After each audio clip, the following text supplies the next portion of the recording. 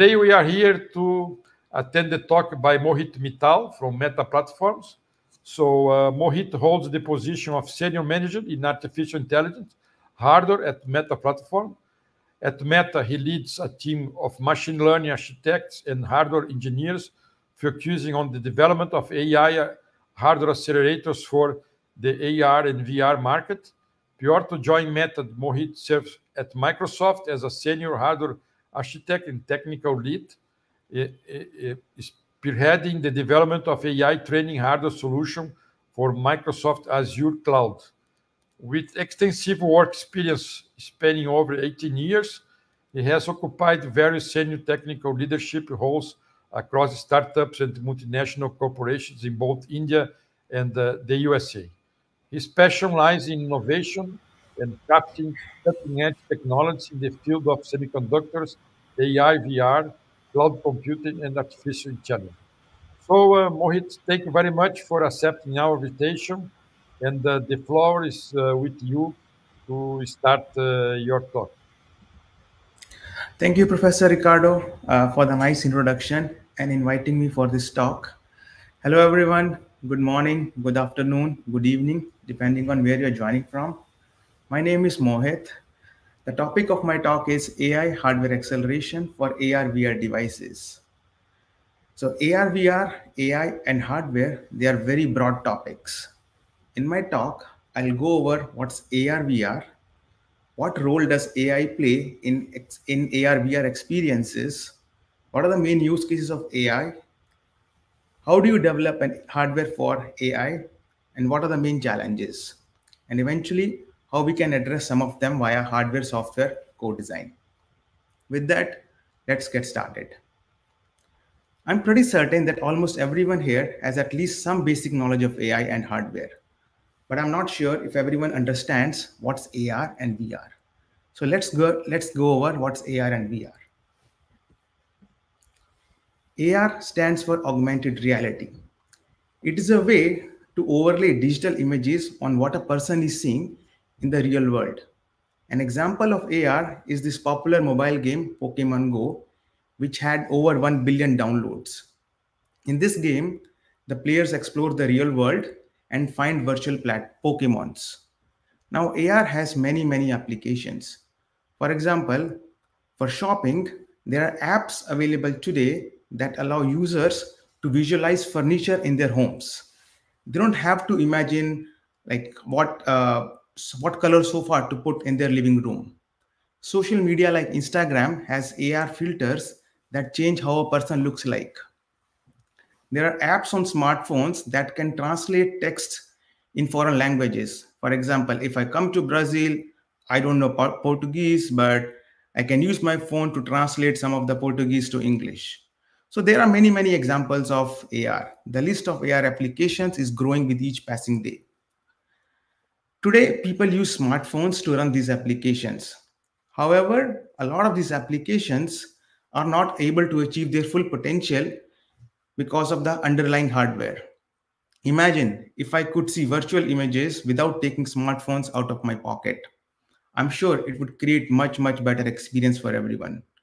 That's where a lot of hardware companies are trying to build AR hardware or AR glasses and to bridge the gap in technology. The picture at the bottom is uh, is from AR uh, is the Ray-Ban Meta smart glasses. It has camera, uh, it has voice assistance, speakers, and many other and, and few other things. It is not a complete AR product, but a first step towards it.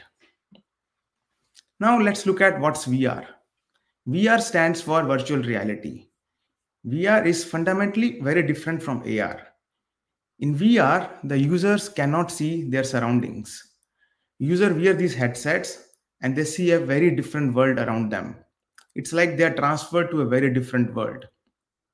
Honestly, it's not that easy to describe how VR feels like. One has to try to feel the experience but the good news is that there are some VR headsets out there in the market. Uh, the picture here is Meta Quest 3 VR headset. Now, how is VR used today? Number one is gaming. Gaming is very, very popular on VR. People take fitness classes on VR. One doesn't have to go to a gym to do yoga class. Healthcare, education, sports training, and there are many other sectors that are seeing increased usage of VR. So in the previous slide, we looked at what's AR and VR. Now an obvious question comes to mind, why is AR and VR important? To understand more, let's, let's take a look at the progression of compute platform. In the 20th century, we had personal computers as our main compute platform. PCs were used for everything, for browsing, for doing your office work, playing games, education, and so on. However, in the past 20 years, smartphones have slowly replaced personal computers as the main compute flat platform.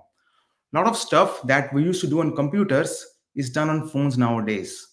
Almost everyone carries a smartphone with them all the time. Yes, we use phones to talk to people, but there is more to it. It is used to take pictures, listen to music, browse internet, and many, many other applications. Now, will it be same in the future? Probably not. That is where AR and VR comes in. AR and VR is often seen as the next compute platform. It may not complete your computers and smartphones, but it can certainly be the main compute platform that humans use in the future. However, there's a lot of work that has to be done to reach there. I see personal computers as the past, smartphones as the present, and AR VR as the future. So when I started working on AR a few years ago, I was not sure, sure if it's possible to build AR glasses. It was difficult for me to imagine how you can put so many sensors, batteries, hardware, silicon chips on a tiny pair of glasses.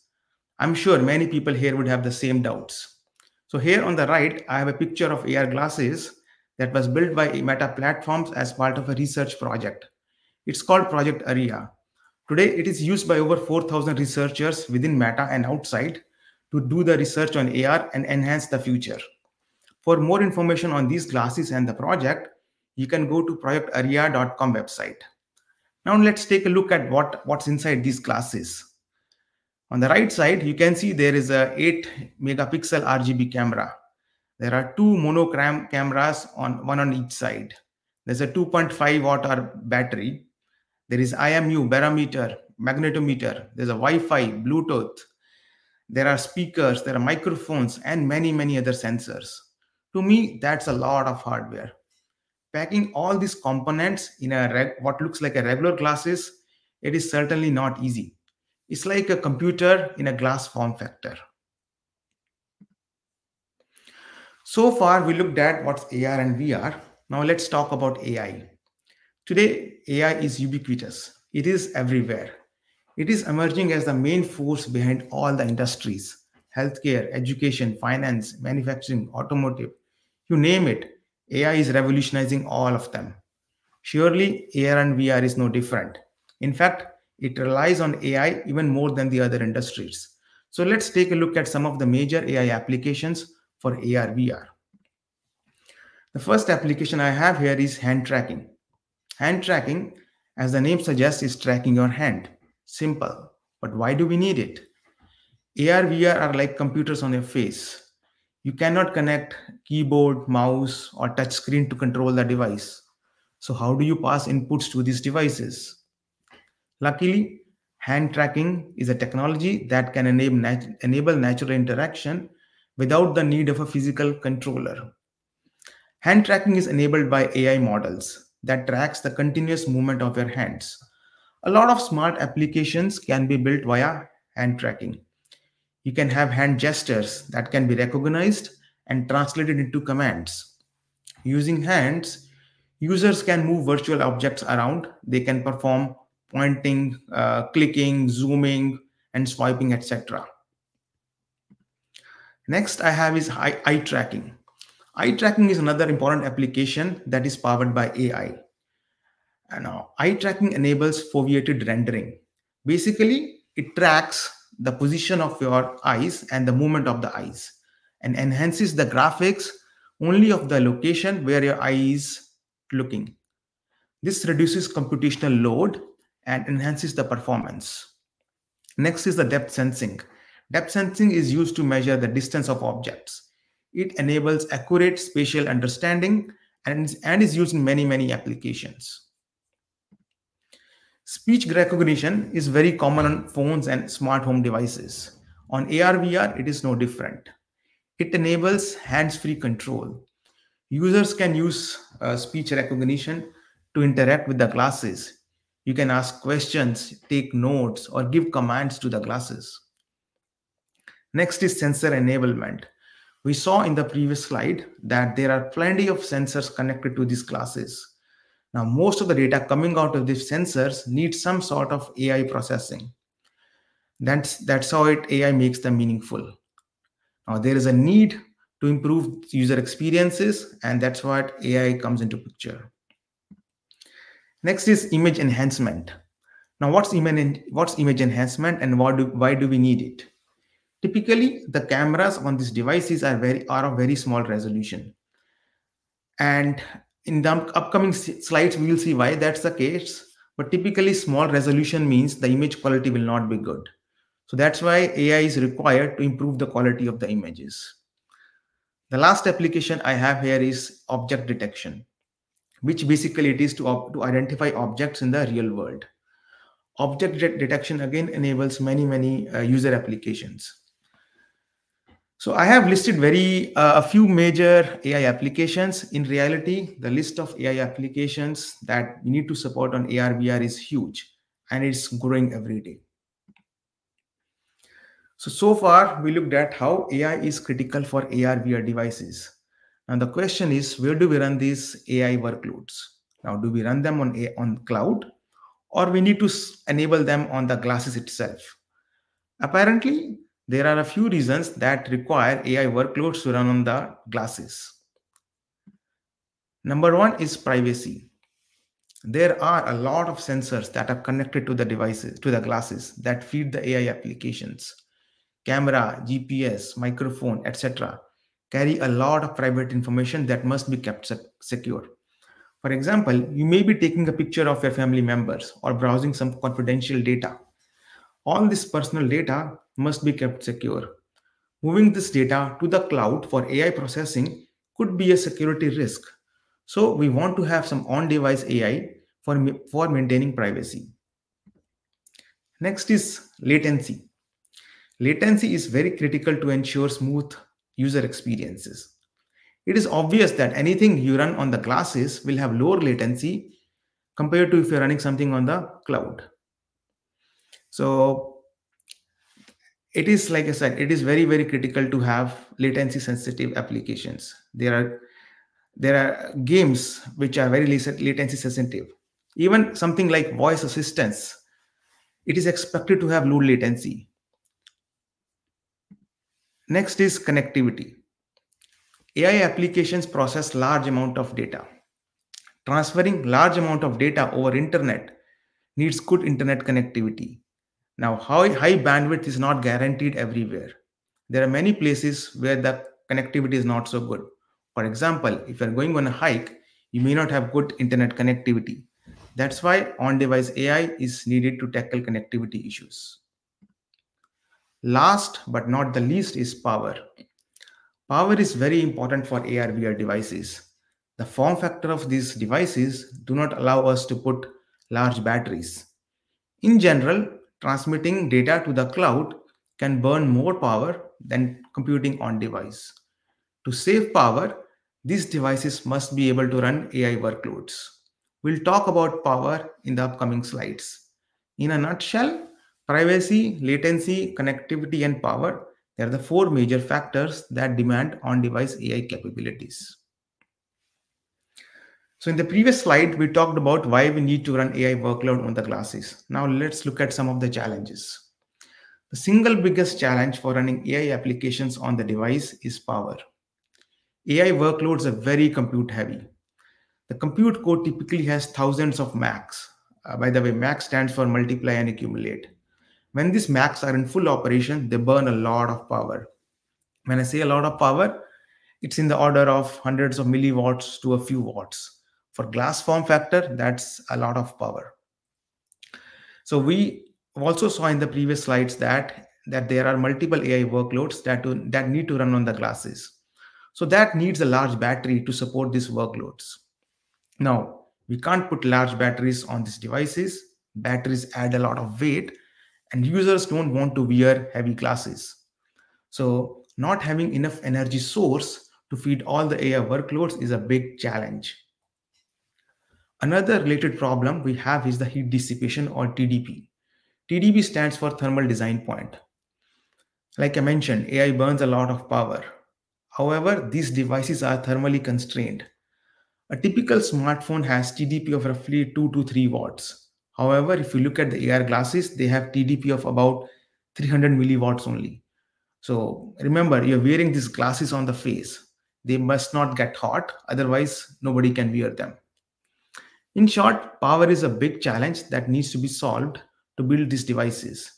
One need to do a one need to design an AI solution that is optimized for power. Now, apart from power, what are the other challenges that need to be addressed? Industrial design is another big problem. Remember, these, these devices are not big. There's not enough space to put large amount of hardware, sensors, or batteries. So that is one problem. The other problem is the size of the sensors. The quality of the sensor output depends on the size of the sensor. If you look at image sensors, like good DSLR cameras have uh, full frame sensors. Smartphones have relatively smaller sensors. The sensors on AR glasses is even smaller. Image quality from a small sensor is a problem. Thankfully, a lot of work in AI has been done to improve the quality of images. There are two types of problems that AI need to solve here. First is the image quality. We can improve image quality by using AI models like denoising. Also, there is no flash attached to the devices. So AI needs to improve AI, the low light imaging. The other problem we have is the resolution of the image. Given that we have small sensors, we need AI-based solution to enhance the resolution of the image. Super resolution is a popular technique that is used in the world of AI to enhance the image resolution. A lot of work in the deep neural networks has been done in this field to enhance the resolution. But running models on super resolution is not that easy. And we will look at in the upcoming slides why that's a challenge. Another big challenge that AI hardware face is that there are multiple sensors connected to the device and there are camera there are cameras that are tracking your hands and eyes and whatever you are seeing. There are microphones and other inputs to the glasses. Almost all of them need some sort of ai processing. So when we are building the ai hardware we you know almost all of like i said when we're building the ai hardware we need to take into consideration how to handle all these multiple workloads. That is not an easy problem to solve. We can't simply put large amount of ai accelerators on the glasses so far, we talked about what's AI. We talked about AI applications and some of the challenges that need to be addressed. Before we talk about AI hardware, let's look at what is a perceptron. Perceptron is a basic building block of a neural network. I assume most of the people have some familiarity with it, so I'll not go too deep into it. Essentially, a perceptron has four main components input activations, weight, nonlinear activation function, and an output activation. A perceptron typically has four has lots of input activations. Sometimes it can grow to a few hundreds or even few thousands. Each input is associated with a different weight. So there is one weight per input activation. The perceptron computes the dot product of input activations and the weights, which is nothing but multiply accumulation unit. Then we add a fixed scalar to it called bias. Finally, it goes through a nonlinear activation function, which gives the output of the perceptron. ReLU, leaky ReLU, sigmoid are some of the popular examples of the nonlinear activation function. Now, which one gets used depends on the application. Like I mentioned, perceptron is the basic fundamental block for artificial neural network. A typical neural network is built by combining thousands and thousands of these in various forms. Now let's look at how does an AI hardware look like. Today AI is one of the hottest topic in hardware industry. Before I talk about generic AI hardware, I do want to mention that there are many big and small companies that build hardware for AI. The, the hardware look very different depending on the application, whether you're building it for inference or training. Even for inference, there are various types of hardware accelerators uh, possible. So I will not go over the various hardware architectures. Rather, I'll focus on how does a typical AI hardware, inference hardware look like. When people talk about AI hardware, first thing to consider is the MAC engine. It is the heart of any AI accelerator. MAC stands for multiply accumulate. When designing the MAC engine, one needs to consider what data formats it has to support. There are multiple data formats that exist today. For example, floating point, single precision, half precision. There's a B float, there's fixed point, integer 8, integer 16, and so on. Next is how many MACs one need to use. Higher the number of MACs, higher the compute throughput. The other major compute block is the nonlinear activation function. Depending on the application, these blocks needs to be designed to support various nonlinear activation functions like ReLU, tanh, swish, sigmoid, and so on. It may also need to support other operators like softmax, layer norm, batch norm, and so on. Both the MAC and the nonlinear activation functions, they are central to any AI hardware. Like I mentioned in the previous slide, a perceptron needs, it gets input activations, weights, and produce output activations. A ML model has a lot of lot of layers. There, there is local memory or, or typically SRAM that is connected to these compute uh, the, these compute blocks. The MAC and the nonlinear activation blocks they read weights and activations from this local memory, perform the computation, and store the result back in the local memory. Another key component of the hardware is the DMA block. DMA stands for stands for direct memory access. The job of the DMA block is to handle data movement uh, between this local memory and the external memory. Then there is a CPU or a DSP that handles the entire orchestration. It is essentially the brain of AI hardware. Various software layer stacks run on this CPU that are responsible for handling inference from start to finish. This includes programming the hardware blocks. Now, all these blocks are connected via network on chip, also known as NOC.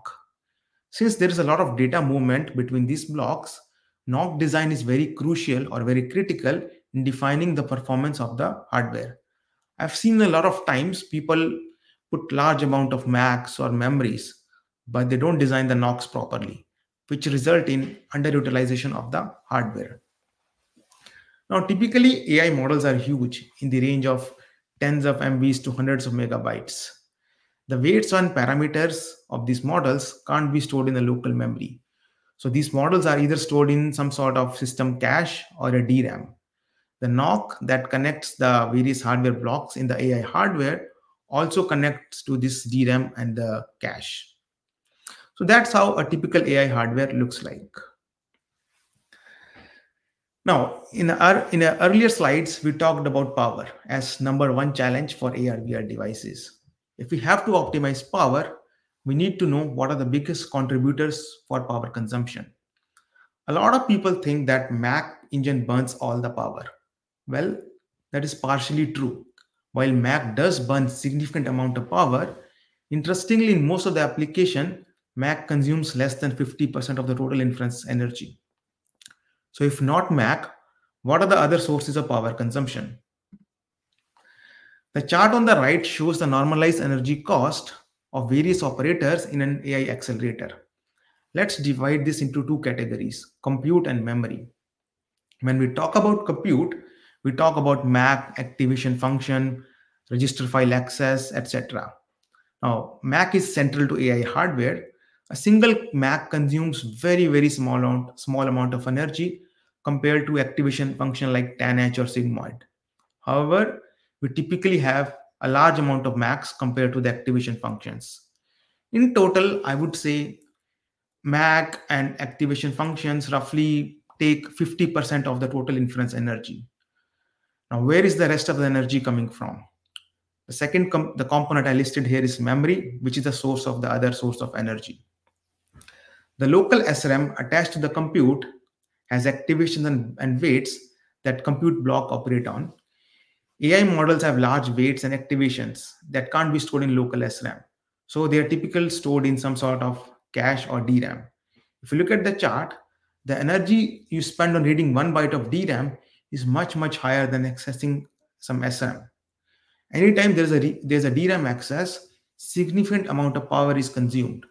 So memory access is another major contributor to the power consumption. So far, we looked at power is a big challenge. Now, what can you do to optimize power consumption? There are a few ways how we can optimize power. Let's first look at ML model and architecture. So when we are developing ML model, we need to prioritize power. Typically, model developers use performance and accuracy uh, for neural architecture search. Since power plays a critical role in enabling AR VR devices, neural architecture search need to in include power also as one of the metrics. Second thing to consider is the precision of the data formats. Typically, ML use floating points as they give higher accuracy and are easy to train. Even though floating points are good for accuracy, they are not so good for power. So one need to ask this question, how much accuracy is good enough? Can it use fixed point representation to represent a model? One should try to go for as low precision as possible. Lower the precision, lower the power. Another thing that architecture can exploit is the weight sparsity. It turns out that ML models have a lot of weights as zeros. We know that multiplying by zero and adding a zero to a number does not change its value. So we can leverage that property. Hardware can be architected in such a way that we exploit this weight sparsity to improve power efficiency. Another one is data reuse. We saw that fetching data from DRAM is power is expensive for power. We cannot avoid fetching data from DRAM, but what we can do what we can do is reuse the data as much as possible. If we look at typical neural networks, there is a lot of reuse of activations and weight matrix. There are, there are various architectures that allow data reuse. One can use weight stationary, input stationary, or output stationary architectures to allow the reuse. So these were some of the architecture ideas for power optimization. On hardware implementation side also, multiple things can be done. One can create multiple voltage or power islands on the chip and turn them on only when needed. This helps in saving leakage power. This is not a new concept for a chip design. However, when designing AI hardware, one can go very aggressive in using in defining how many power domains they want. Now, dynamic power is a huge component of total power. Clock gating is a technique that is used in chip development to save dynamic power. For AI hardware, again, one can go very aggressive while doing dynamic clock gating. One can implement multiple levels of clock gating to save dynamic power. On top of talk, uh, clock gating, there are techniques like data gating that can be used to prevent unnecessary toggles and save glitch power. Physical design is another major lever that can be used to optimize power. In the past, timing and area were the major knobs that physical design tools used to use to optimize the design. However, however the EDA tools today, they have become much better at, at doing power-aware physical design. Now, PDD tools, they can be enabled to look at switching activity of the design to optimize the power. Also, they can use multi-bit flip-flops wherever possible. That reduces area as well as power. There are other techniques like dynamic voltage frequency, frequency scaling that can be used to save power. In short, hardware and software has to be co-designed to optimize the power. Now, machine learning accelerators have limited on-chip memory, and that's a big challenge that almost all the accelerators face. Let's take a look at one of the example networks. Earlier, we talked about super resolution network that is used to enhance the image resolution. Here we have a table that shows per layer activation memory footprint of a super resolution network that takes 1024 by 1024 input and gives 2048 by 2048 output image. There are roughly 50 layers in this model. The memory needs to store three types of activations. One is the input activations of a layer that is shown in blue here. The other is the output activation that is shown in red. And the third is the skip or the residual connections that is shown in green. If you look at the chart, most of the layers, the memory requirement for them is between 50 to 100 megabytes. Now, any typical ML hardware that is designed for AR VR application has much smaller internal memory. For anything that cannot fit in the local memory, the data has to be spilled to the external memory. Now, why that is a problem? Let's take a look at the memory hierarchy in, hierarchy in a typical SOC. Local SRAM connected to the compute block is small in size. Typically, it's in the range of quarter of megabytes to 8 megabytes. Now, local SRAM has very low energy, typically in the range of 0.1 picojoules per byte to 1 picojoules per byte. It also allows high bandwidth for accesses. The next level is the in the memory hierarchy is the system cache, which is a shared memory between various IPs on the chip. This memory is slightly larger in size, typically in the range of 4 megabytes to 32 megabytes, but it has slightly higher cost in terms of picojoules per byte. The access to this memory goes through a NOC. Given the cost of routing wires on the chip, the typical bandwidth of accessing this memory is slightly lower than the local memory bandwidth. The last level in the memory hierarchy is the DRAM. DRAM is typically gigabytes in size. Large memory storage is good for ML models. However, the energy spent on accessing these DRAMs is in the order of hundreds of picojoules per byte which is much higher than accessing local memory. So we want to optimize for power. We need to limit the amount of activation spills to the DRAM. Now, how do we do that? Let's take a look at a few possible solutions.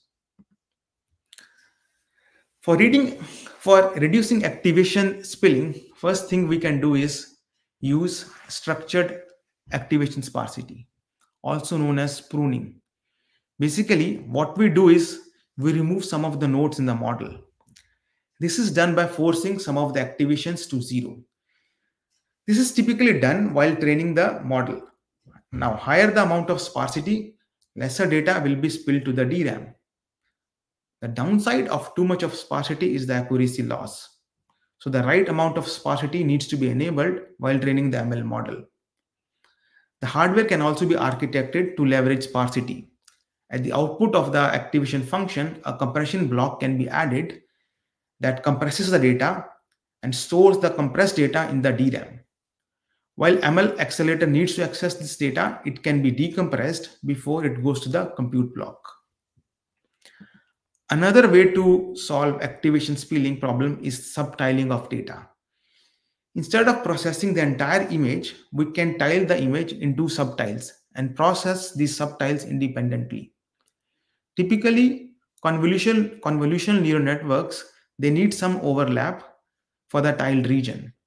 That, that overlap increases the amount of compute and memory requirement. However, we can reduce this tiling, tiling overlap via a better network design. This would need refining the models and sometimes even using multiple models to remove the imperfections. Earlier in the presentation, we looked at various types of AI workloads. Now, these workloads are heterogeneous in nature and are very different and have unique requirements. For example, if you look at the hand tracking applications, it involves continuous tracking of a hand. Now, hand tracking is a real time workload. It needs to be completed in a given amount of time. It also has a high frame per second requirement. Typically, that would be 30 to 90 frames per second, depending on the application. Even something like scene tracking is a real-time workload, but compared to hand tracking, it has slightly lower frame per second requirement. Image processing is typically high compute workload and is bursty, is bursty in nature. They typically do not have any stringent timing requirements. Now, how do we build a solution that can serve such heterogeneous nature of workloads. If we if we could afford multiple large chips, yes, we could add multiple AI accelerators to support all these parallel applications. but we cannot do that because of the ID constraints. Now, if we cannot put multiple AI accelerators, what can we do? So let's take a look at a couple of ideas in the next slide. Apparently, to tackle the heterogeneous nature of AI workloads, we need the help from both hardware and software. Software implements a runtime scheduler to schedule various AI workloads on the hardware accelerator. Now, given the heterogeneous nature of AI workloads, the scheduler needs to be very intelligent. It needs to understand the priority of the workloads, the latency requirements, and the hardware capabilities. Smart scheduling decisions have to be made when, AI, when multiple AI workloads are active. For example, it may be okay to delay low priority workload like image denoising in favor of serving high priority workloads like hand tracking, which has a which has a real time high frame per second requirement. Another way to reduce or solve the problem is to build a low overhead context switching solution, which can seamlessly switch between low priority and high priority workloads. A typical neural network has multiple layers. The concept behind uh, context switching is that if you are executing a low priority workload and while executing the low priority workload, a high priority inference request comes, the hardware pauses executing the low priority workload. The hardware and the software states are stored, and then it switches to the high priority workload. Once the high priority workload is executed, the context of the low priority workload are resumed or restored, and then the low priority inference is allowed to resume. For example, if you look in the bottom figure, we have a low priority workload A running. After running two layers of that low of the low priority workload, a high priority workload inference request comes. The software pauses the inference A and saves the context. One thing to note here is that the hardware must be designed in a way such that when we are saving the context, it has a very low overhead. Now, after saving the context, workload B is run. When, when, when workload B is done, the context of workload A is restored and is allowed to resume the operation. Again, the hardware must be designed for low overhead during context switching. So, a smart runtime scheduler along with low overhead context switching solution can help with efficient handling of heterogeneous AI workloads. So whenever we are designing the hardware, we have to optimize for PPA. PPA stands for power, performance, and area. Typically, you cannot optimize all three of them at the same time. For example, if you're optimizing for higher performance, you may put for more, you may put more MACs or have larger memories in your hardware, but that would increase both area and power. So one need to find the right balance based on the use case like when you are looking at the numerics, you have to look at should we put more floating point or integer fixed or integer numerics or custom numerics. Similarly, the right amount of uh, the right balance of compute of memory has to be put in the hardware. Thorough analysis has to be done. Should we put more compute on the chip or more memory on the chip? That comes that is actually dependent on the applications you are running. So one the both hardware and the software architect, architects have to sit together to come up with the right solution. Use all the low power design techniques whatever you can use to optimize for ppa use algorithms like compression and sparsity wherever possible to optimize for ppa there is a lot physical design can help with optimizing ppa we talked about some of the techniques in the in the previous slides. Now even architecture we can also do architecture aware physical design. Basically, when you're building the architecture, architects can work with physical design engineers to see how they can optimize the PPA when looking at the architecture. So in the presentation today, we looked at various challenges that AI accelerator face on AR/VR devices. We talked about challenges related to the memories, heterogeneous workloads, and so on. To solve these problems, we cannot focus on just software and hardware. The key idea we discussed today is that hardware and software must be co-designed. Software, it dictates the accuracy of the model. But while designing the model, we also need to consider what kind of data formats hardware need to support and not to over design the hardware. Similarly, user experience is very important and both hardware and software, they need to be aligned on that. Tasks like context switching, they need adequate support from both hardware and software. System resources and energy efficiency need to be considered while designing the models and software. Algorithms, algorithms and architecture need to be aware of the hardware constraints. Software and hardware needs to be co-designed to optimize the power, performance, and area. So that was the last slide of my presentation. Thank you very much. Happy to answer any questions.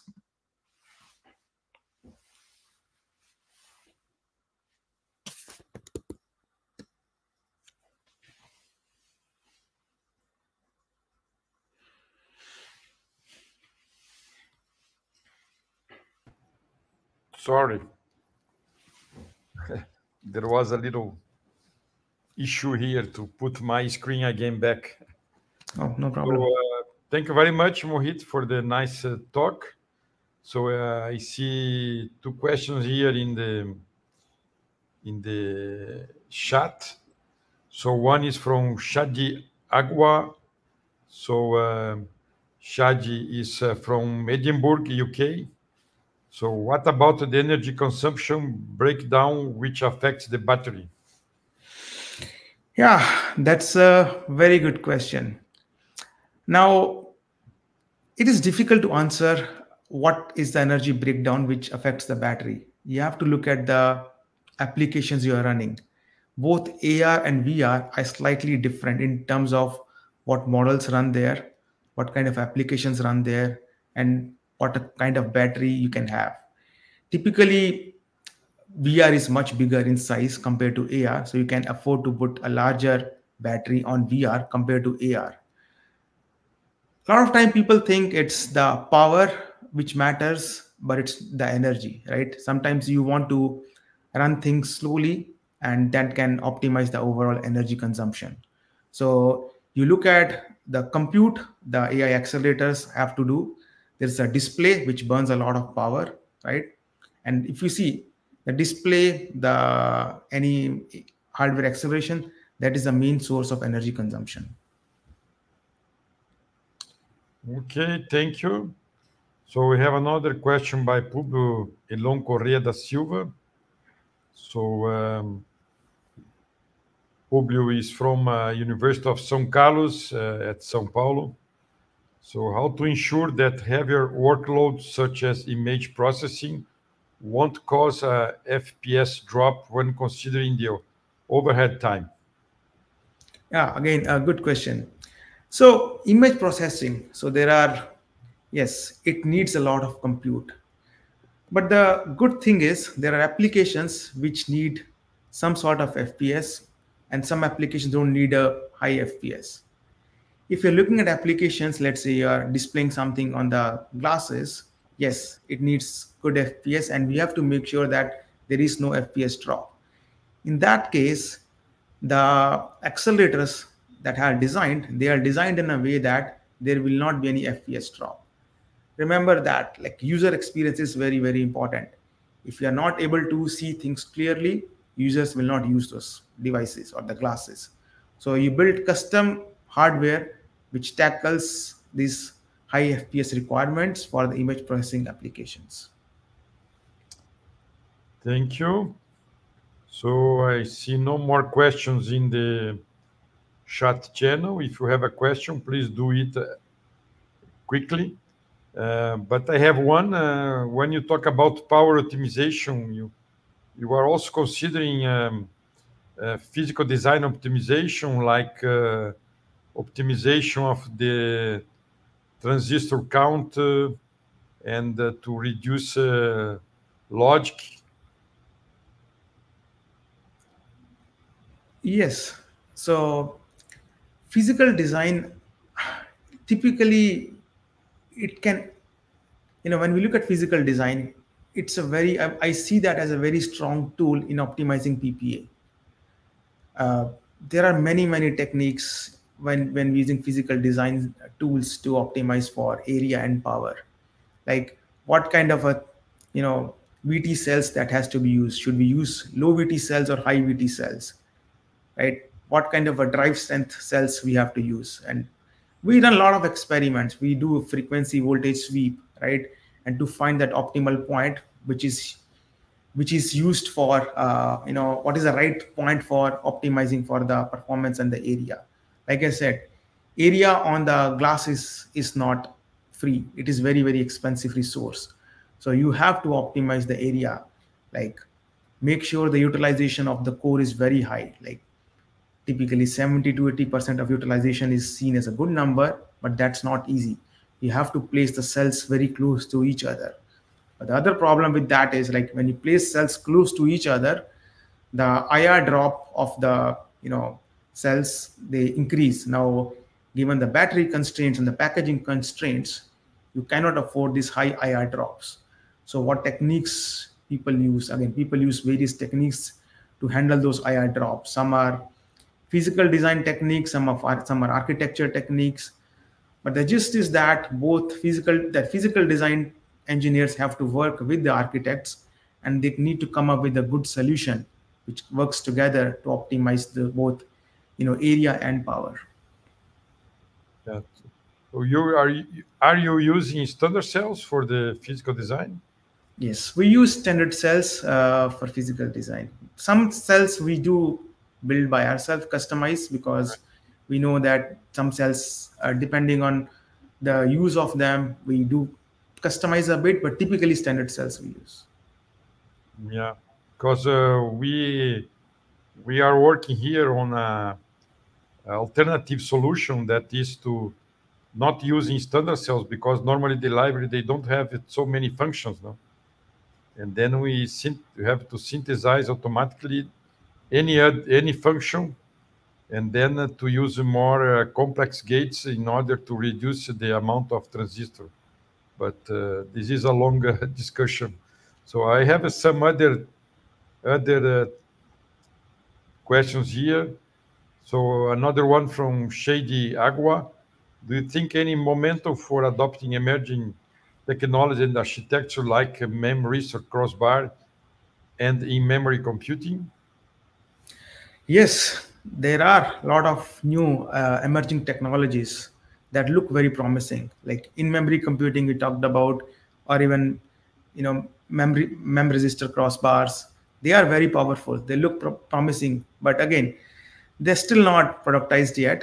It will take a few years before they become popular, and I will not be surprised that we see more and more of you know in-memory computing and many other technologies like 3D stacking and others which are getting used in AR and VR applications. Okay, thank you. We have also a question here by Professor Altamiro Susin from Federal University of Rio Grande do Sul. Thanks for the nice presentation. The optimization proposal will focus a single application hardware or a general purpose inference machine? Uh, I would say it's more like a general purpose uh, inference accelerator. Like when you say again general purpose, surely you have to look at what you are trying to solve. Like I said, in there are a lot of AI applications. Like do you have hardware sitting in the cloud, in your phones, in the small, you know, like AR VR devices. They are they have very different problems to solve.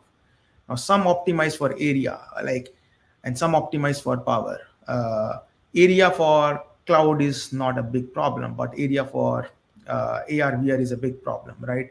So you have to look at what are the applications you are running and what are the problems in those applications and have to optimize the hardware for that. The most of the concepts say the stay the same. Like like I said, we talked about PPA optimizations. Yes, everyone has to optimize PPA, but which one you optimize more compared to others, that depend on the application. Thank you. So uh, I have another question by Guilherme Korol. Uh, what about reducing memory costs with another architectures instead the MAC arrays? Data flow can reduce your reads for loading wave. For AR, VR, do you see MAC arrays being replaced? Thanks. Yeah, that's an active area of research. And I know a lot of universities are doing research in that field. Even at Meta, we are doing a lot of research in the same lines. Uh, I don't see them getting replaced today. Uh, you know, it will happen in the future, but not today. And the reason is AI is changing very fast. The applications are changing very fast. You cannot, you have to be very generic when you're building a hardware because whatever AI applications or algorithms we see today, they will be very different next year and the year after that. So you have to be a bit generic. And then having these MAC arrays, it which basically do this load, you know, loading of weights, activations, right? They, that is pretty generic eventually things will be you know the algorithms will stabilize and then that's where people will look at can they harden some of the weights? Can they not use MACs or use uh, something else? Yes that will happen in the future.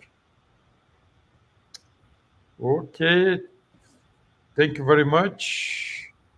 Uh, another question by professor susin. Low precision arithmetic is frequently proposed to reduce power do you see the possibility to have a multiple precision in a machine?